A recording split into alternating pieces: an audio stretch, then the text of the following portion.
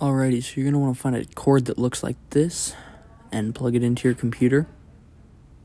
The other side should look like that, and then plug it into your headset. And there you go. Now that part is completed. Then you're going to want to go to ModsBeforeFriday on said Chromebook slash computer. And then click on the first link. And it should bring you to a page like this. Then you're going to click connect to headset. Click that one. And then for this section, you're going to have to go onto your headset and click allow. It should pop up just like this. And then click allow always or allow. And then boom, now you're in. And these are the three you do not want. I don't really know why, they just kind of bug out your game. You will notice a difference in loading rate, so it will take longer to load. Now once I'm in, this is the clock mod. It can show you the time, you can change it to seconds as well, and percentage, which I have showing because it's, it's nice. So for the sabers in the loading menu, you're going to want to go to custom models, and then you can go to menu, and this is the no menu pointer, and you can do default sabers, which just makes it your sabers. And then in game, you can make your saber length super long and or wider or skinnier. You can also disable the mod right here if you don't want to have it. And you can change the note size and the default bombs and default debris there isn't much to do with the walls unless if you add an extra mod.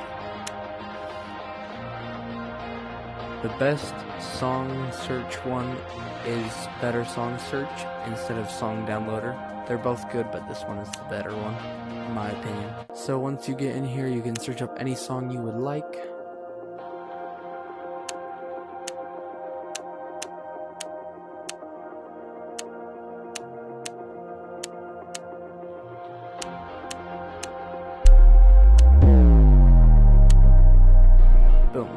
As you can see, there's several other mods. I won't be going into every single one. Comment down below if you would like a separate video on all the mods. And uh, you can still play online. It is a little bit buggy, sometimes the game will crash, but it is definitely worth it to play random songs with friends. And make sure you have Beat Together selected when you go to here. So once you've created your online server, you can do per player difficulty, which means that any other player can select their own difficulty. So someone can play on hard, you can play on expert plus, they can play on expert like that, and then modifiers goes for the same thing. Every single person can select their own modifiers, so some people can select, well, except for slower, faster, and super fast. But you can select no fail, no bombs, ghost notes, all these ones and then once you turn those off then it goes back to normal and only the host can choose which ones you use. Over here is the same thing, you can find the better song search. Here's your normal vanilla settings. So the code, spectator mode, player options, colors, those are all the same.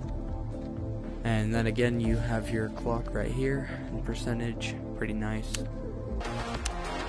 You can still play your original songs, and every song you've bought will still be in here. Like, I still have my Metallica song, and my Eminem song, and my Shock Job songs, and Queen, The Weeknd,